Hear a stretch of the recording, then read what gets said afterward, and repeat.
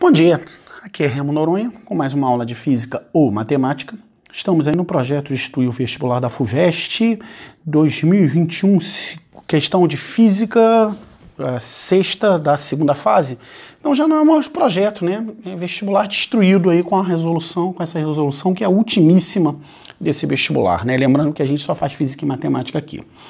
E a questão diz o seguinte... Um caminhão carregado, carregando uma caixa trafega em linha reta com a velocidade de 36 km por hora. Se você dividir por 3,6, já vamos deixar aí que a velocidade é de 10 metros por segundo. Coeficiente de atrito estático entre a superfície da caixa e a carroceria é de 0,4, não há ganchos ou amarra prendendo a caixa ao caminhão. Sabendo disso, ao notar um sinal vermelho à frente, o motorista freia suavemente o caminhão para que a caixa não deslize. Hum, Note a note, a força exercida pelos freios do caminhão está sujeita de modo que a aceleração do caminhão seja constante durante a frenagem e dá G igual a 10 metros por segundo ao quadrado. Tá? A letra A, desenhe um diagrama de corpo livre indicado as forças. Deixa eu ver se eu consigo só ir adiante aqui. Ó. Peso, massa que multiplica a aceleração da gravidade. Normal, ela em módulo tem que ser igual ao peso, não se trata de paração-reação, tá? e a força de atrito. Tá? Se você é, considerar esse conjunto aqui como a força de reação da caixa, o diagrama ficaria assim, ó, peso e força de reação, tá? Que também seria uma resposta aceitável aí, sem nenhum problema, tá? E a letra A está feita bonitinha aí, já separando todo mundo que está no eixo X e no eixo Y, beleza? Vida que segue. Na letra B, ele pergunta qual a distância mínima que o caminhão percorre no instante da frenagem e a parada total do veículo para que a, é, a caixa permaneça sem deslizar. Bem, isso vai acontecer quando a força de atrito for máxima. Tá? Então, a força de atrito máxima vai ocorrer com coeficiente de atrito multiplicado pela normal. Deixa eu voltar ali para vocês entenderem esse conceito de força de atrito máxima. Digamos que o cara esteja com uma aceleraçãozinha, é, uma frenagemzinha de nada, ele só deu um toquezinho no freio, ou só tirou, o cara tirou o pé do acelerador, então a aceleração no sentido oposto é pequenininha. A força de atrito ela pode ser pequena também.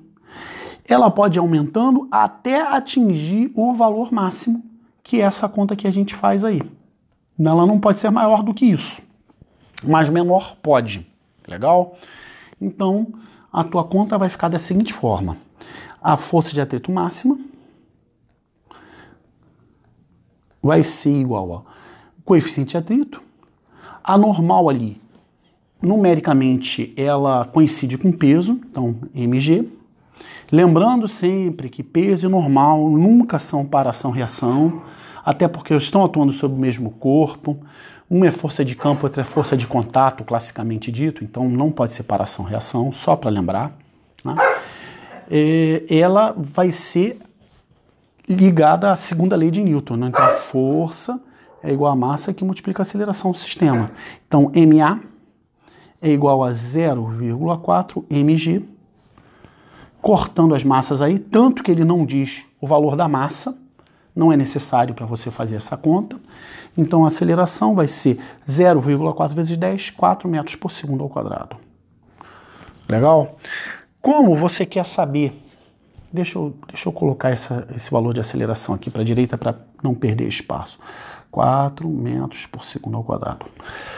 Como você não está interessado aqui em saber o tempo em que o processo acontece, Torricelli no bruto.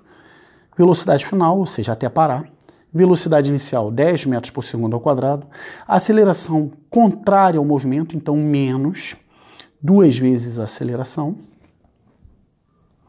multiplicado pelo deslocamento. Então, seu deslocamento vai ser igual a 100 dividido por 8, que é a mesma coisa que 50 dividido por 4, mesma coisa que 25 dividido por 2, então 12,5 metros. Legal?